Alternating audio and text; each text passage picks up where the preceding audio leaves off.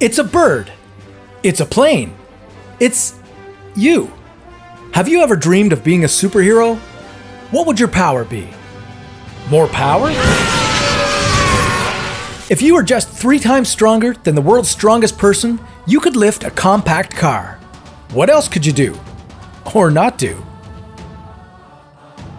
Would superhuman strength be a blessing or a curse? This is What If. And here's what would happen if you had the strength of a superhero.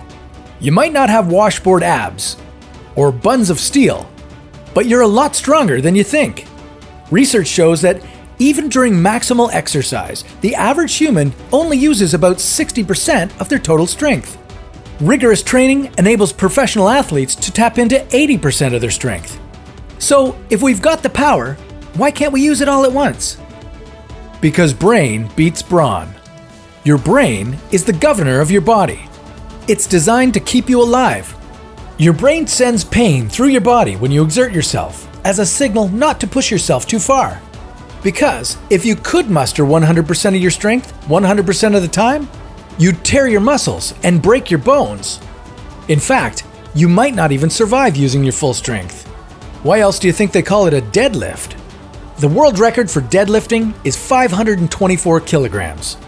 And in extreme circumstances, ordinary people have hoisted cars to save someone trapped underneath.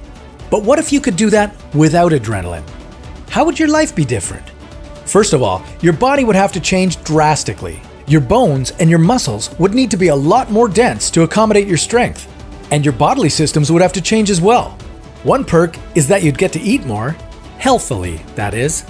Superhuman strength is powered by superhuman energy, and your body gets energy by breaking down food into glucose and releasing it into the bloodstream.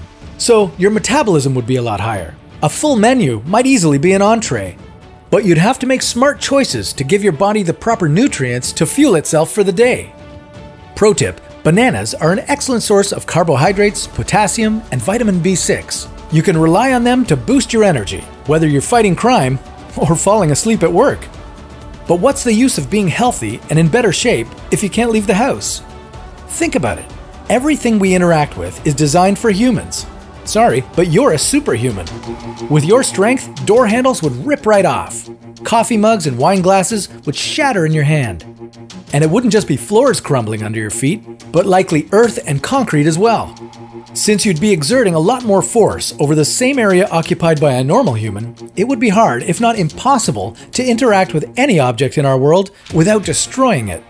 You'd need special clothes and special shoes, but any attempt to pay for them with paper money would result in it shredding at your touch.